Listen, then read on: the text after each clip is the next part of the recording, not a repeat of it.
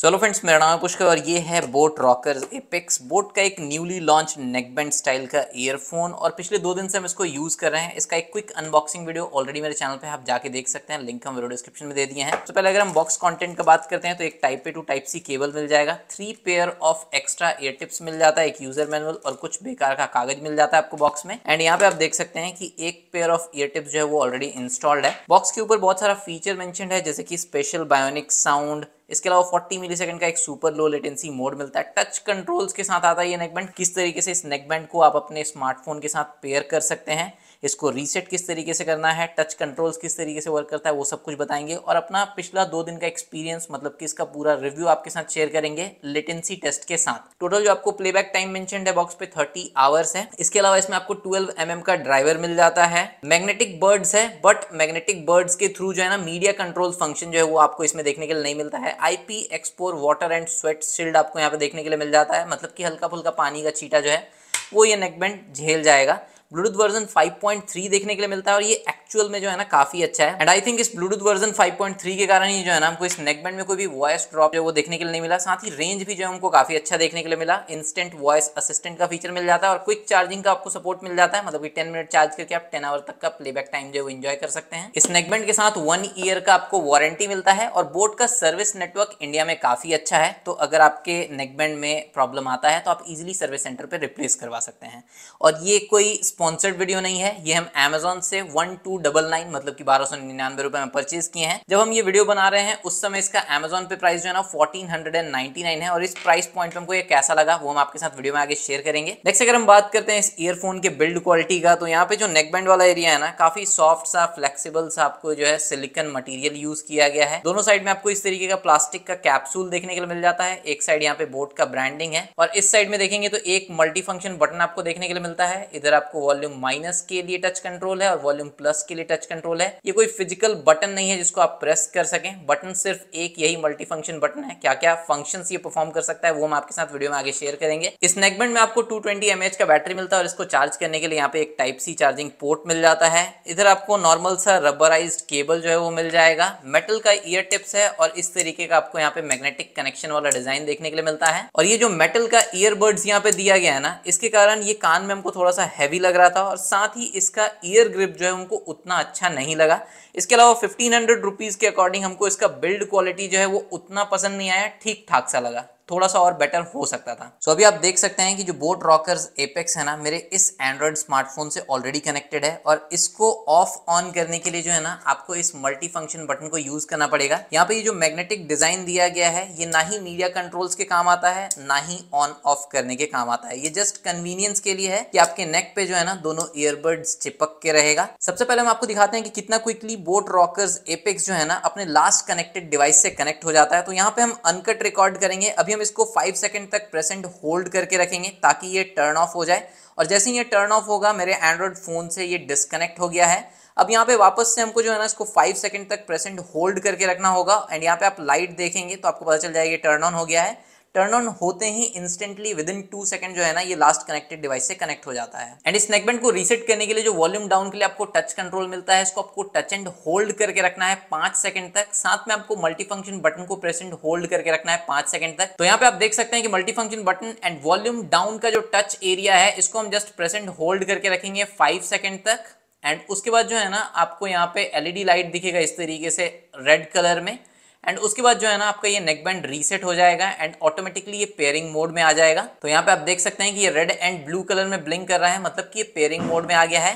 And जो last connected device था, उससे ये डिस्कनेक्ट हो गया है। अब बोट के इस एपेक्स नेकबैंड को अगर आपको अपने एंड्रॉइड फ़ोन के साथ या किसी भी डिवाइस के साथ पेयर करना है ना तो आपको जो है ना सिंपली ब्लूटूथ सेटिंग में आ जाना है। पेयर न्यू डिवाइस के ऊपर टैप करना है। अवेलेबल डिवाइसेस में आपको रॉकर्स एपेक्स देखने के लिए मिल जाएगा जस्ट इसके ऊपर आपको टैप करना है। एंड यहाँ पे आप देख सकते हैं कि मेरा जो बोट रॉकर्स एपेक्स है, वो कनेक्ट हो गया यहाँ पे बैटरी परसेंटेज शो कर रहा है। एंड इस नेकबैंड के साथ जो है ना कोई सॉफ्टवेयर सपोर्ट या कोई ऐप सपोर्ट जो है, वो आपको देखने के लिए नहीं मिलता है। इसके अलावा बोट के इस नेकबैंड में आपको कोई भी डुअल पेयरिंग जैसा फीचर देखने के लिए नहीं मिलता है। मतलब आप एक साथ दो डिवाइस के साथ कनेक्ट करके इसको यूज़ नहीं कर सकते हैं। या दो डिवाइस के बीच में आप इसको स्विच करके यूज़ कर पाए, वैसा कोई भी फीचर आपको इसमें देखने के लिए नहीं मिलता है। नेक्स्ट अगर आपके कनेक्टेड फ़ोन पे कोई भी कॉल आता है ना तो इस मल्टी फ़ंक्शन बटन को सिंगल टैप करके जो है ना, आप कॉल को आंसर कर सकते हैं। और फिर से सिंगल टैप करके जो है ना आप कॉल को कट कर सकते हैं या एंड कर सकते हैं। एंड कॉल को रिजेक्ट करने के लिए इस मल्टी फ़ंक्शन बटन को आपको डबल प्रेस करना है एंड आप कॉल को रिजेक्ट कर पाएँगे। इसके अलावा अपने कनेक्टेड फ़ोन में अगर वॉइस असिस्टेंट इनेबल करना चाहते हैं इस नेकबैंड के थ्रू जो मल्टी फ़ंक्शन बटन मिलता है, इसको आपको ट्रिपल प्रेस करना है। एंड आप देख सकते हैं कि वॉइस असिस्टेंट जो है इस तरीके से पॉपअप हो जाएगा। नेक्स्ट मीडिया कंट्रोल फीचर्स का अगर हम बात करें, अगर आप कोई भी म्यूज़िक या वीडियो प्ले कर रहे हैं प्ले या पॉज करने के लिए जो है इस मल्टी फ़ंक्शन बटन को आपको शॉर्ट प्रेस करना है। एंड आप देख सकते हैं म्यूज़िक जो है वो पॉज हो गया। फिर से शॉर्ट प्रेस करेंगे एंड म्यूज़िक जो है वो प्ले होने लगा। अगर आपको नेक्स्ट ट्रैक पे जाना है तो जो आपको वॉल्यूम अप के लिए टच बटन मिलता है, इसके ऊपर आपको डबल प्रेस करना है। एंड आप नेक्स्ट ट्रैक पे जा सकते हैं। एंड यहाँ पे जो टच रिस्पॉन्स है, इस नेकबैंड का हमको काफ़ी सही लगा। प्रॉपरली ये वर्क करता है, आप देख सकते हैं, इस तरीके से हम नेक्स्ट ट्रैक पे स्विच कर पा रहे हैं। अगर आपको प्रीवियस ट्रैक पे जाना है या ट्रैक को रीस्टार्ट करना है तो आप वॉल्यूम माइनस बटन को डबल प्रेस करके जो है ना प्रीवियस ट्रैक्स पे जा सकते हैं। अगर आप म्यूज़िक प्ले कर रहे हैं तो आप रीस्टार्ट कर सकते हैं। एंड यहाँ पे भी आप देख सकते हैं कि जो टच कंट्रोल्स है, वो प्रॉपरली वर्क कर रहा है। नेक्स्ट अगर आपको वॉल्यूम अप करना है तो जो आपको वॉल्यूम माइनस बटन मिलता है, इससे आपको वॉल्यूम प्लस बटन की तरफ़ स्वाइप अप करना होगा इस तरीके से। एंड आप देख सकते हैं कि वॉल्यूम जो है, वो इंक्रीज हो रहा है मेरे कनेक्टेड फ़ोन पे। एंड अगर आपको वॉल्यूम को डिक्रीज करना है तो इसका अपोजिट मतलब वॉल्यूम प्लस से वॉल्यूम माइनस बटन की तरफ़ आपको स्वाइप करना होगा इस तरीके से।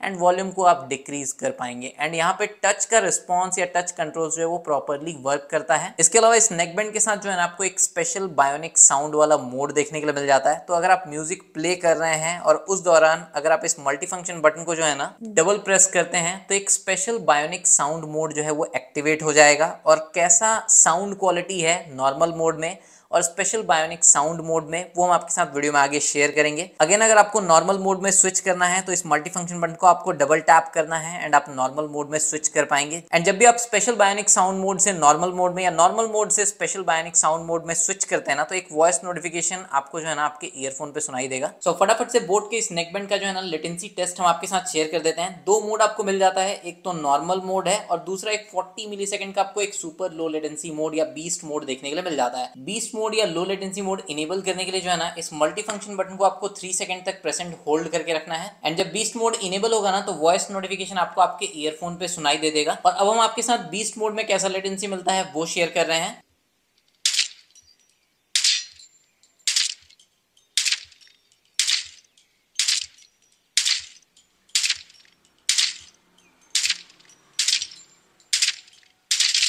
सो बोट के इस नेकबैंड स्टाइल ईयरफोन को जो है हम पिछले दो दिनों से यूज़ कर रहे हैं। फाइनली अगर हम अपना रिव्यू आपके साथ शेयर करें, सबसे पहले लेटेंसी टेस्ट का बात कर लेते हैं। तो जो बीस्ट मोड या लो लेटेंसी मोड आपको दिया गया है 40 मिली का, वो एक्चुअली में वर्क करता है। कैजुअल गेमिंग में लो लेटेंसी मोड के साथ आपको ऐसा कोई भी इशू नहीं आएगा बट अगर आपको एकदम ज़ीरो लेटेंसी चाहिए तो फिर आपको एक वायर्ड ईयरफोन या हेडफोन के साथ ही जाना पड़ेगा। नेक्स्ट अगर हम बात करते हैं इस नेकबैंड के साउंड क्वालिटी का तो वो हमको काफ़ी सही लगा। बोट का जितना भी ईयरफोन हम अभी तक ट्राई किए ना, चाहे कोई नेकबैंड हो या फिर कोई टीडब्ल्यू टाइप ईयरफोन हो, उन सब में हमको सबसे बेस्ट इसका लगा साउंड क्वालिटी जितना हमको याद है। एंड इसका जो साउंड है ना थोड़ा सा काइंड ऑफ़ बैलेंस टाइप का है मतलब आपको अच्छा बेस मिल जाता है ट्रेबल अच्छा है वोकल्स काफ़ी क्लियर है इंस्ट्रूमेंट सेपरेशन मतलब जब आप कोई सॉन्ग सुनते हैं तो जो बैकग्राउंड में इंस्ट्रूमेंट्स प्ले होता है ना, वो भी इसमें काफ़ी क्लियरली सुनाई देता है। साउंड क्वालिटी में जो हमको एक प्रॉब्लम लगा, वो लगा लाउडनेस के रिगार्डिंग 100 परसेंट वॉल्यूम पे हमको थोड़ा सा डिस्टॉर्शन फील हुआ। अगर आप 70 80 परसेंट वॉल्यूम पे प्ले करेंगे म्यूज़िक को तो आपको काफ़ी अच्छा साउंड क्वालिटी देखने के लिए मिलेगा और काफ़ी लाउड भी ये रहेगा।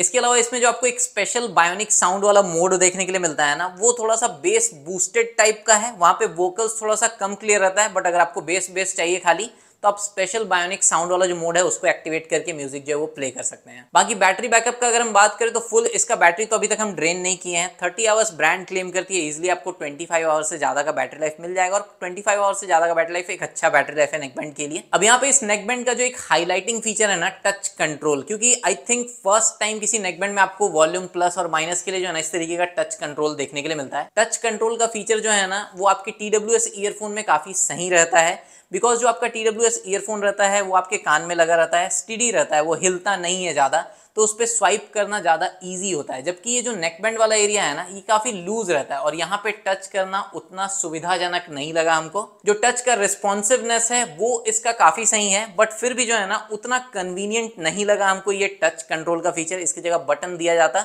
तो वही ज़्यादा सही रहता। एंड यहाँ पे जो है ना, हम ब्रांड्स को जस्ट एडवाइस करेंगे कि ये जो टच कंट्रोल का फीचर है, ये उतना कन्वीनियंट भी नहीं है और उतना यूजफुल भी हमको नहीं लगा। इसके जगह बहुत सारा यूजफुल फीचर है जो आप 1500 के नेकबैंड में दे सकते हैं। जैसे कि आप क्विक स्विच का फीचर दे सकते हैं। मेरा अभी भी जो है ना OnePlus bullet wireless Z जो सबसे पहला नेकबैंड आया था ना, वो मेरा प्राइमरी नेकबैंड है। हम इसी को यूज़ करते हैं बिकॉज़ इसमें आपको एक बटन मिल जाता है क्विक स्विच के लिए। किसी भी दो डिवाइसेस के बीच में आप इजीली स्विच कर सकते हैं। अभी के टाइम में मैक्सिमम लोगों के पास दो फ़ोन है। अगर दो फ़ोन नहीं है तो किसी के पास एक फ़ोन एक टैबलेट है, किसी के पास एक फ़ोन और एक लैपटॉप है।